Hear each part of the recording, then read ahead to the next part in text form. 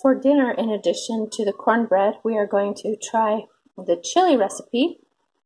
Uh, it calls for celery and onion, but I also added bell pepper. And I'm just cooking it all in the pot here. And then I didn't have tomato juice, so I'm going to use tomato sauce and then add some water to thin it out. The chili is looking kind of runny, so I'm going to add another can of beans to it to bulk it up a bit.